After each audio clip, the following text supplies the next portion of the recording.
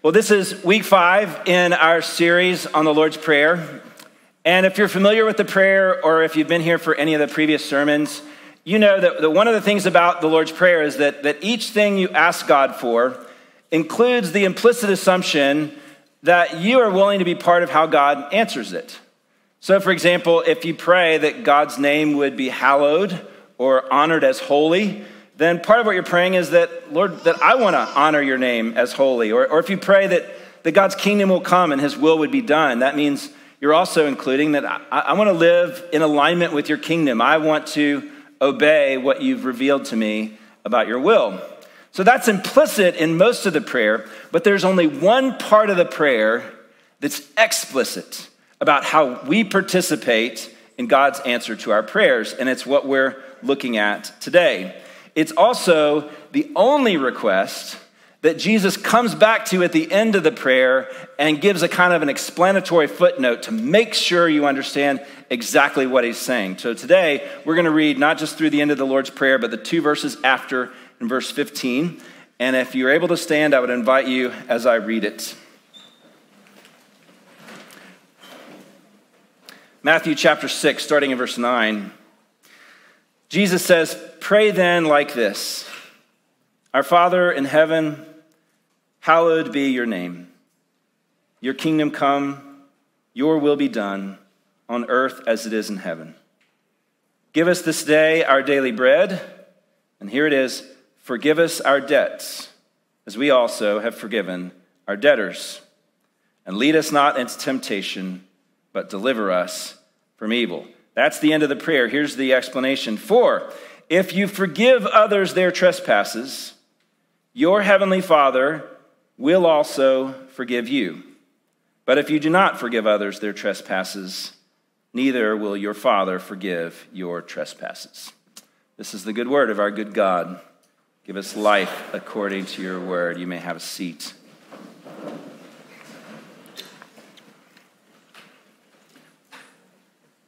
This is a hard one today, uh, a demanding one, and yet one that I believe is the key to the health of your and my relationships and the key to the vitality of Christian faith.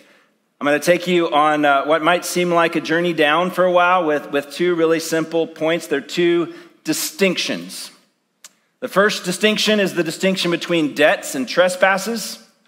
And the second one is the distinction between forgiveness and restoration. And when we walk through those, we're going to use them to understand, apply the text, and then we'll close. So, two distinctions. First, debts versus trespasses. If you've ever been in, an unfamiliar church, say, or a wedding or a funeral, and there's that moment when somebody stands up and says, And now let us pray the Lord's Prayer together, you know the awkwardness that is coming, right? Because right there in the middle, there's going to be some people that go, Forgive us our debts, and other people that go, Forgive us our trespasses as we forgive those who trespass against us. And it just gets, the cadence goes off, and it all bleeds together. And you just like, by the time you get to the end, you're like, We made it. You know that feeling? Maybe you wonder, like, well, what's, what's the difference? Why do different traditions say different words? I mean, growing up, I used to think, well, you know, maybe Presbyterians are more likely to owe people money, and like Methodists and Episcopalians are more likely to have property they don't want people trespassing on. I, you know, turns out that's not it. Um, and actually, what we just read explained it for us. So, verse 12, in the middle of the prayer, Jesus says, Forgive us our debts as we forgive our debtors. And then, verse 14 to 15, when he kind of explains this forgiveness thing, he says, Trespasses. We should forgive others their trespasses as God forgives ours. So, debts and trespasses are very obviously, they're, they're, synonyms. They're two different ways of talking about the same thing, which is just sin. In fact, if you look at Luke's version of the Lord's Prayer in Luke chapter 11, that's just what Luke, how Luke renders it Forgive us our sins.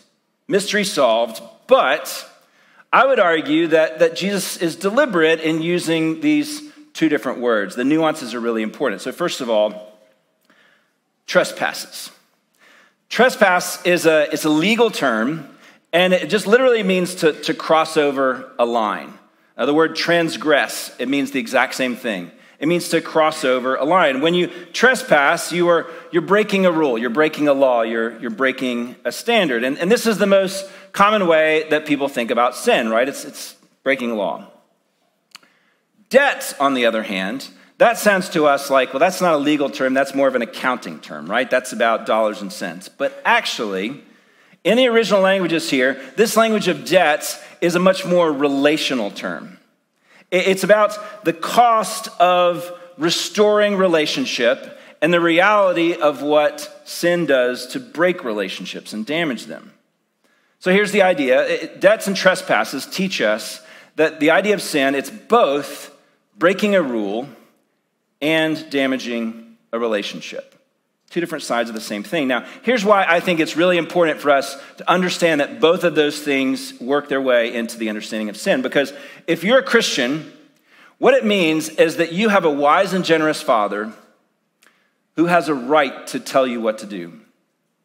Not just because he's the boss, he's the king of all things, but because he made you and he loves you and he knows what's best for you. And he only asks you to do what he knows is good for you.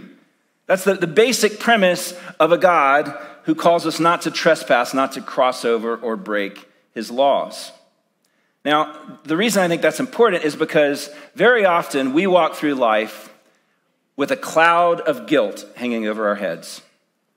And that guilt very often does not come from God, from breaking God's laws, but from breaking somebody else's expectations. Very often they come from our families, from our, our friend groups. Uh, you know, you have, to, you have to weigh a certain amount. You have to look a certain way. You have to get married by a certain age or have kids by a certain age. They're, you have to be successful as this person over here. We live under a giant weight of expectations. And we remind ourselves that sin is actually trespassing God's law, we're saying, and not yours, and not yours.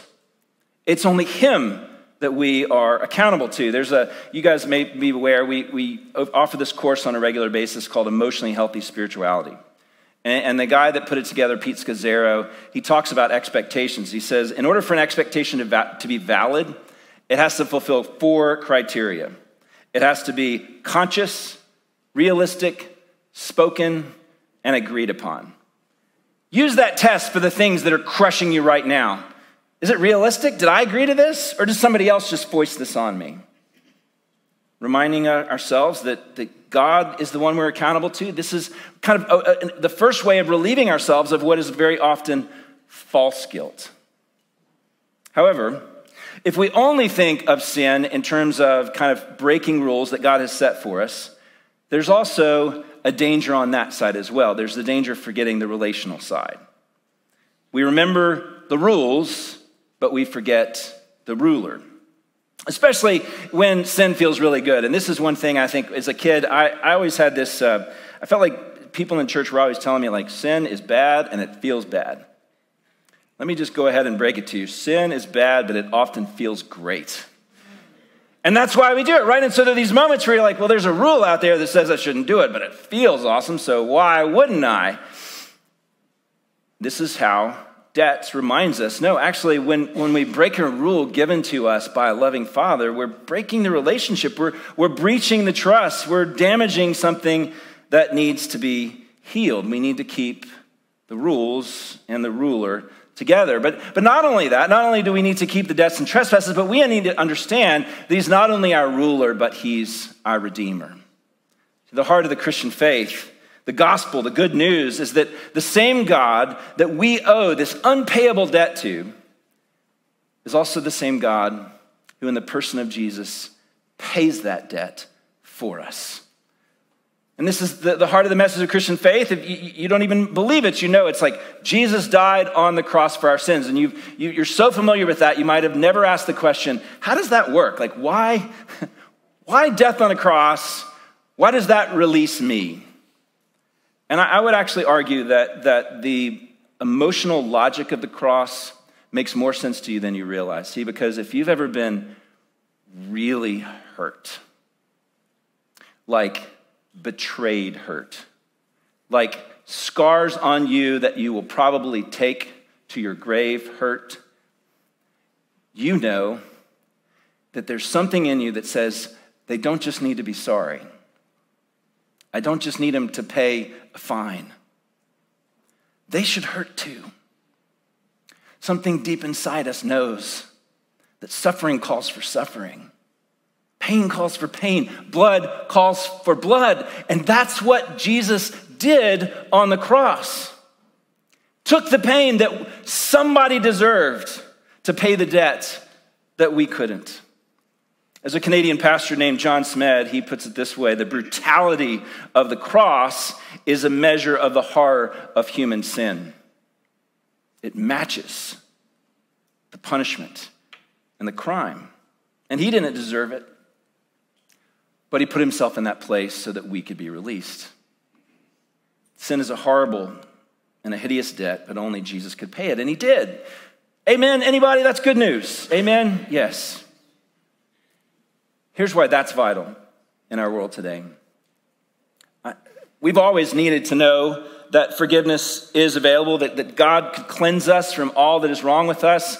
But I, I would argue that we especially need to know it now in the year 2022. I think we live in one of the most moralistic eras in human history. And here, here's what I mean by moralistic I mean, if you log onto the internet or open up your phone or walk out the door, you are basically walking into a hailstorm of expectations of who you're supposed to be and what you're supposed to know and what you're supposed to do. And if you don't feel it yet, just keep that in your mind and look for it this afternoon, Monday morning, this week. It's everywhere around us. You know, a few years ago, people started, uh, it become much more common for people to use the phrase, silence is complicity. You know, on, on any number of particular uh, public issues. If you're not saying something, you're complicit in the problem. And th- there is a real dynamic there. There are situations where silence can be a way of perpetuating an injustice. But something I've noticed recently is that language has been even escalated. Silence is violence. And, and it's just slung out at anybody. It's like if you're not saying something, you are doing violence to people. Do you feel that pressure in your life? All of the knowledge that we have, all of the, the, the, news and the access that we have, we know what we're doing to the planet. We know where the injustices are. We know who's poor and needs more help. All of the expectations are just crushing us. We need to know there is only one that we owe a debt to, and there is only one who has already paid it. Amen. Let me just drive this a little, little deeper. I, I um, there's an article that I read five years ago by a scholar named Wilfred McClay called The Strange Persistence of Guilt. And the thesis of the article was that if you, if you read a lot of social scientists over the past few hundred years, they, they've basically been arguing that you know, once we can get past religion and all of the guilt that religion puts on people, we're going to kind of enter this new era of history where we just do what we want and everything is awesome. And McClay's like, why is that not happening? Why is it actually going in the other direction, where, where we actually feel more guilt, more burden than ever before? And he said, it's basically this we're, not, we're no longer looking at God to tell us what we're really called to do, we're looking at everybody else. But worse, we don't have anything to do with our guilt. If you don't believe in a Savior who is crucified and resurrected from you, who can cleanse you of your guilt once and for all, you're stuck with it. And the only way that you could possibly feel clean, the only way that you can possibly feel righteous is to identify some way that somebody else has hurt you. Because if I'm the victim, by definition, I'm right and you're wrong. And if you can't find a way that somebody else has hurt you, you got to get as close to other people who are victims as possible and champion them and fight for them. That's the only righteousness anybody has left. And now, look, let me be really clear there is such a thing as victims. Uh, that's, that's obvious. I mean, Jesus is assuming that in this passage. And, and it is righteous to defend and work for justice. But if that's the place we are getting our righteousness, we are just descending into a cesspool of pointing fingers and guilty burdens. And that is not the good news of Jesus. We need this so much more than we think. We have debts that are trespasses we have a Redeemer who has unburdened us of them. And, and that leads us to the second key distinction. The second key distinction is the distinction between forgiveness and restoration. Uh, you might have heard a similar distinction forgiveness and reconciliation. Uh, that's another fair word. I think restoration highlights a little more. These are, in this case, these are not two different ways of talking about the same thing, but they are related. So let's, let's start with forgiveness.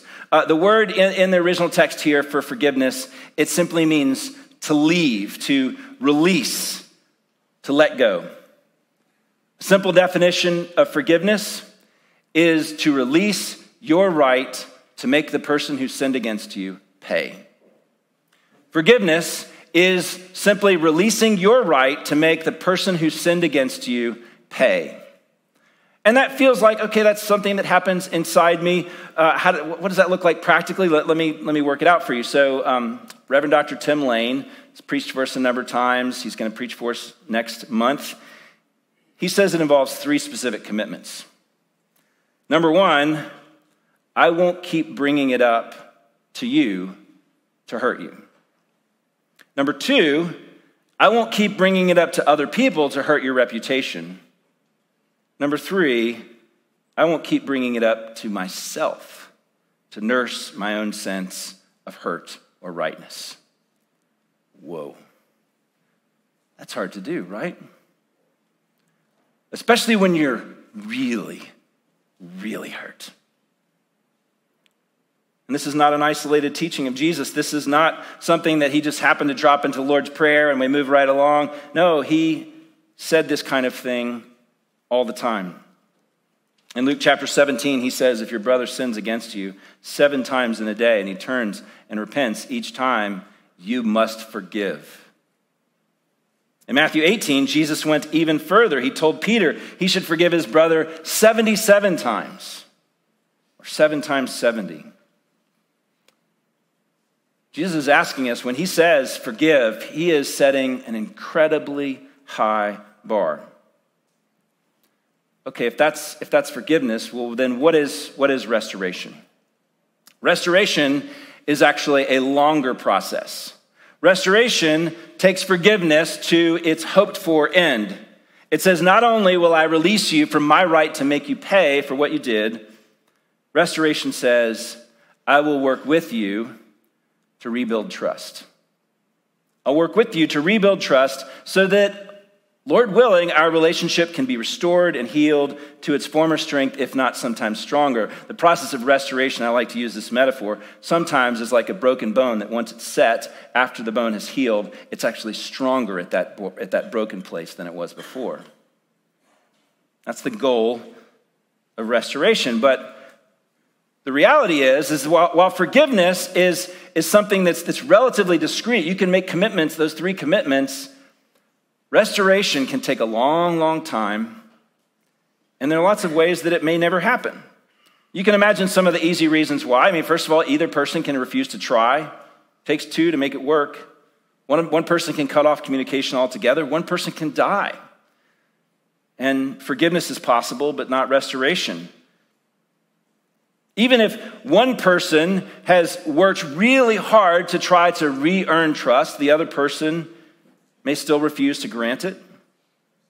And then there's also the reality that you can forgive someone, but the consequences of that forgiveness can't be erased. If you, you break the law and, and you're caught, you still may need to go to jail even if you are forgiven. In, in short, forgiveness is something that's always accessible to us. And Jesus is saying it's non negotiable. Restoration, may or may not happen. It's a goal that requires more than one person to achieve. Now, here's why I think this is so important for us to, to grasp this distinction. Very often, one of the reasons why we hold on and don't want to forgive somebody is because we confuse it with restoration. We think, if I forgive you, then I've just got to pretend like everything's fine. And we've just got to go right back to that place we were before this happened. And I'm just going to have to put myself in that position to get hurt by you all over again. And I, I just can't do that. That's not forgiveness. That's restoration. That's a process. We confuse those two processes. If you're a Christian, I think you need to forgive and you need to want to and be willing to work for restoration if the person tr- proves trustworthy. But it might actually be unloving to restore trust too soon. Let me give you an example of what that could look like. So imagine, let's say, you keep a little stash of, of cash, little pocket money in your sock drawer at home. And a member of your family struggling with an addiction finds your little stash of cash, spends the money on some substance, and, and eventually you, you catch them and you find out what they did, and they, they admit it, they confess to you, the, the forgiveness is granted. Do you keep putting money in your sock drawer? No. It's, in fact, it's unloving to, to put them in a position where it makes it easy for them to sin against you, to sin against God, and to sin against themselves in that same way. See, trust has to be re earned. Maybe over time, as certain behaviors are demonstrated, you may put the money back in your sock drawer. Forgiveness and restoration, it is one of the the most helpful, important principles to understand that difference between the two. Now, now that we understand them, let's go back to what Jesus told us in the prayer and see if this can help us make sense of it. So, what did he say, first of all? We should pray in verse 12 Forgive us our debts as we have forgiven our debtors. Some, some translations, some ways you've said it will say, Forgive us our debts as we forgive them, right? I think the past tense is a much more faithful rendering of the original language. Forgive us as we've already forgiven. And if we didn't pick up on that little hint, he comes back, verses 14 and 15. If you forgive others their trespasses, your heavenly Father will forgive you. But if you do not forgive others their trespasses, your Father will not forgive your trespasses. Sometimes you have to just sit with the Bible for a second when it says something that sounds outrageous and ask yourself, what are you really saying, Jesus? It sounds like he's saying only forgiven people or forgiving people get forgiven. And, and if you read a, a dozen commentaries, all the scholars, any, any scholars worth their salt at least, are going to be quick to say that that can't be what he means. No one can earn God's forgiveness. God's forgiveness is, is given to us freely, purely by grace. We've been singing about that already today. So, so the typical conclusion is that's not really what Jesus meant. What Jesus meant to say was something like this that by forgiving other people, we demonstrate that we have been forgiven by God.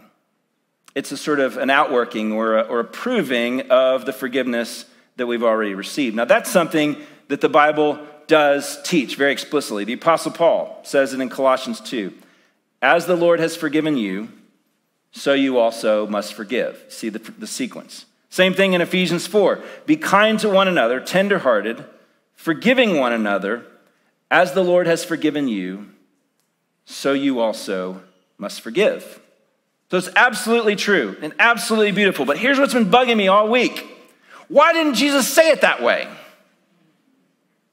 Why did he say it this way? And assuming, as the incarnate Son of God, he knew why he said it that way. I think the distinction between forgiveness and restoration makes sense out of it. See if you can follow me. See, the Bible is, is crystal clear that if you have put your faith in Christ, you are fully, completely, permanently forgiven. Cling to some of these verses. Romans 8, chapter 1. There is therefore now no condemnation for those who are in Christ Jesus. 2 Corinthians 5, 17. If anyone is in Christ, he or she is a new creation. The old has gone, the new has come. Or as Jesus himself said it on the cross, it is finished. There's nothing else you can do for God to forgive you more than he already has. It's complete, it's permanent. He did it once and for all. Your salvation is secure. The Holy Spirit has taken a permanent residence in your heart. He will never leave you, he will never forsake you, and when your body dies, you will be with him forever until you're till he returns and your body is resurrected with him to live forever in the new heavens and the new earth. That is guaranteed for all who belong to Jesus. Thank you, June. Amen. But as long as sin still lives in us on this side of eternity, and it lives in me, the quality of our relationship with God, the freedom, and the trust and the confidence in our relationship with Him, that can be damaged. And that's what I think he is talking about here. For example, let's say someone has gossiped about you. This has happened to all of us at some point, I'm sure.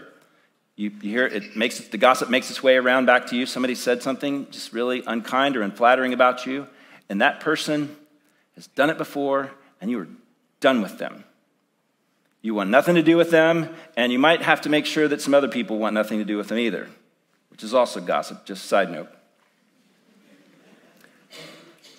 So, so that's where you are. That week when you're feeling that, you happen to go out with friends, find yourself drinking too much drink so much, you get sloppy, you say things you shouldn't have said, you do things you shouldn't have done, you wake up with a hangover and regret. And you know that you've sinned not only against your own body, but you've sinned against God. And so you get on your knees to the Lord and you say, Lord, I, I, that, was, that was foolish, that was wrong. Will you forgive me? Based on this passage, I, I believe Jesus is saying God's answer at that point is no. Or more accurately, not yet. I think what God would say is, you have business to do with your brother or sister before my relationship with you can be restored to its full freedom. If this sounds like Walter's crazy interpretation of the Lord's Prayer, back up two chapters in Matthew, Matthew chapter 5. If you are offering your gift at the altar and there remember that your brother has something against you, leave your altar there, your gift there before the altar and go. First be reconciled to your brother or your sister, and then come and offer your gift. That's when they have something against you, not even that you did something to them. And he says, horizontal reconciliation that starts first, then come to me. It's a demanding standard. And, and it almost sounds impossible. And it's easy to get into thinking, Jesus, are you, are you saying that only forgiving people get forgiven? No. You are already forgiven. if your faith is in Christ, that's permanent, that's real.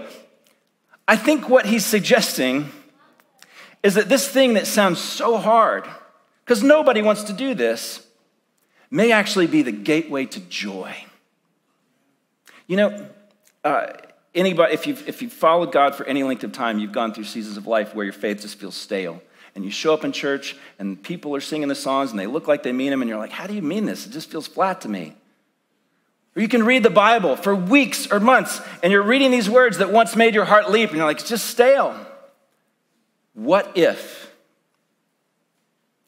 One of the reasons why God's grace is not amazing to you is because the amazingness of his grace is not flowing from you to other people. Horizontal and vertical. We only get it from him. You wouldn't have it to give if he didn't give it to you. But you're tasting and experiencing and delighting and reveling in the freedom of his grace that can be clogged by refusing to forgive others. You know, there's a there's a common expression people use. You, have probably heard it. You know, forgiveness is like drinking poison and, and hoping that the other person will die. And um, and it's a, it's a it's a good point. Bitterness can just eat you alive. But but the biblical logic is is not hey that unforgiveness is hurting you. It's hurting everybody. It's hurting the heart of the Lord. It's hurting the people you love point is, you've got to receive grace from the Lord. The point is, keep it in circulation. Be forgiven, extend forgiveness. Be forgiven, extend forgiveness. Be forgiven, extend forgiveness. That's the rhythm of the gospel. How can you do that? How, how can you practically uh, make that happen in your life? Well, let me just remind you that the, the Lord's Prayer, remember, we don't just use it and, and memorize it so that when, when it comes up in church, we'll know the words. It's, it's a model, it's a pattern. It's telling us these are the things that should be part of our everyday praying in our own words.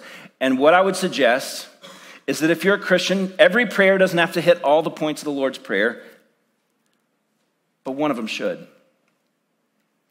And when you get down on your knees and pray to the Lord, always somewhere in the mix should be Lord, forgive me. Forgive me my debts. Help me to forgive my debtors.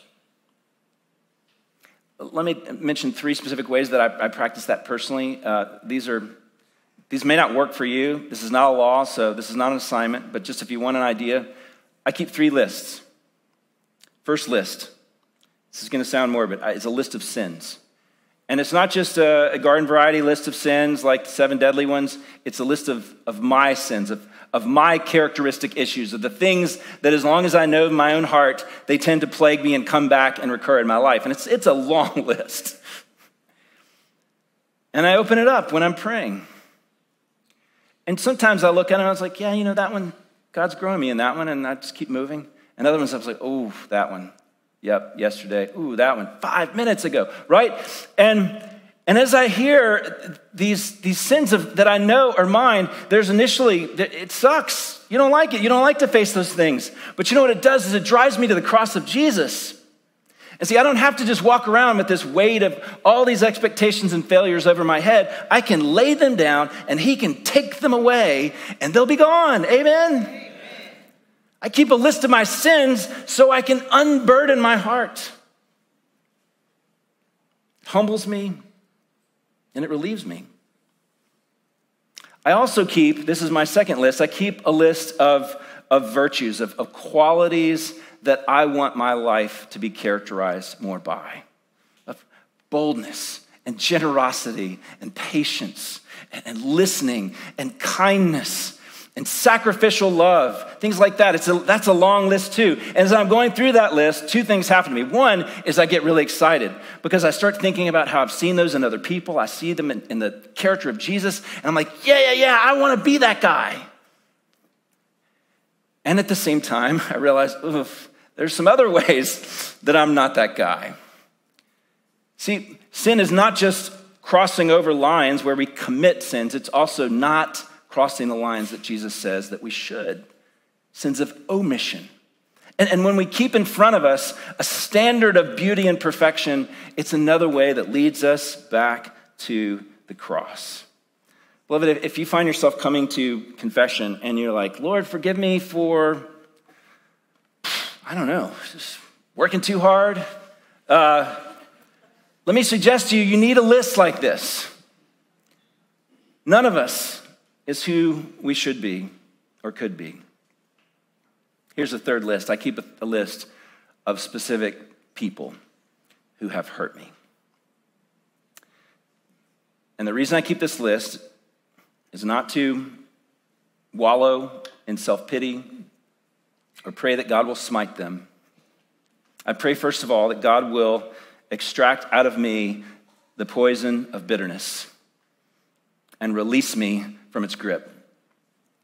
And secondly, I pray that God will bless them beyond measure. And that's a hard turn to make, right? It's praying that God will release me from this sucky feeling that I have. I can get there. Okay, that person that did that to me, I, have got to pray that God will bless them. And uh, some of the people on my list have been on that list for years. And it has become a delight for some of them already to pray that God would be good to them, that He would be half as merciful to them as He has been to me. There's a German martyr from World War II, Dietrich Bonhoeffer, Lutheran pastor beautiful book, Life Together. He said, I can no longer condemn or hate a brother for whom I pray, no matter how much trouble he causes me. You want to love people that you want to, that your natural tendency is to hate, pray for them. One last bonus tip. If you're in a situation where you realize you need forgiveness from God, don't just say, I'm sorry. I'm sorry is a good thing to say. It's a statement of regret. Forgiveness is a question. Will you forgive me? Same thing when you need forgiveness from a person. Will you forgive me? And when somebody asks that of you, don't say, don't worry about it, it's no big deal. I forgive you. Let me leave you with this famous scene from the ministry of Jesus, Luke chapter 7. Similar stories in all four Gospels, but this one is especially powerful. Jesus is invited to eat at the home of a Pharisee. And while he and this Pharisee and presumably other esteemed guests are eating, this notoriously sinful woman barges into the room, cracks open this expensive alabaster jar of expensive perfume, starts anointing Jesus' feet with this perfume, wetting his feet with her tears and drying them with her hair. Think about the scene. Everybody knows who she is, what kind of person she is. Everybody can smell this aroma that's filling the room. Everybody can hear her sobbing. Think about how much you have to cry to get somebody's feet so wet that you can only dry them with your hair. We don't know what Jesus said to her. We don't know why she had this act toward him. But the Pharisee who hosted him is thinking to himself, if, if Jesus were really a prophet, he'd know what kind of woman this was. And Jesus knew exactly what he was thinking. So he's like, Look, from the minute I walked in here, you failed to love me in all the ways that she has. So let me tell you a little parable. Two different guys owed money. One of them 500 denarii, one of them 50 denarii, 10, 10 times more one than the other. The money lender forgives both debts. Which one, Jesus asks him, will love him more? Pharisee, it's a pretty easy question. It's like, oh, the one that forgave or got the bigger debt forgiven. Jesus says, right answer. Therefore, I tell you, her sins, which are many, are forgiven, for she loved much. But he who is forgiven little loves little. It's a powerful story, but do not miss that one central point at the middle of it. The fruit of forgiveness is love. Not just unburdening yourself from guilt, not just getting to be a better person, but love. And if you want more love for humanity, you got to learn forgiveness from the Lord. If you don't think that you have much that God needs to forgive you for, if the really bad sinners are those people over there that could really use the kind of religion that's turned you into such an upstanding person, your love will shrivel and shrink the size of a pebble. This is what's wrong with the church.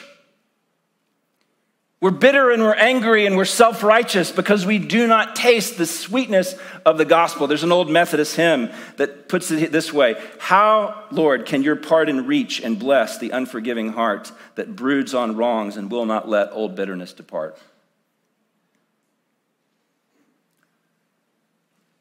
What's the alternative? You make a habit of confessing your sins to God. You make a habit of taking hold of His righteous white robe and wrapping it around yourself and laying those sins down. Your love becomes so wide and warm that it will fill every room you walk into, every classroom and field, every sidewalk and arena. People will smell it on your clothes. Forgiveness breeds love. So you'll be able to sing the last line of that hymn, which goes like this In blazing light, your cross reveals the truth we dimly knew, how trifling others' debts to us, how great our debt to you. If you want that kind of love, only the cross of Jesus can give it to you. Only the Spirit of Jesus can give it to you. And He's holding out His arms and saying, Take it. Will you take more of it today, beloved? Let's ask Him to give us more. Pray with me.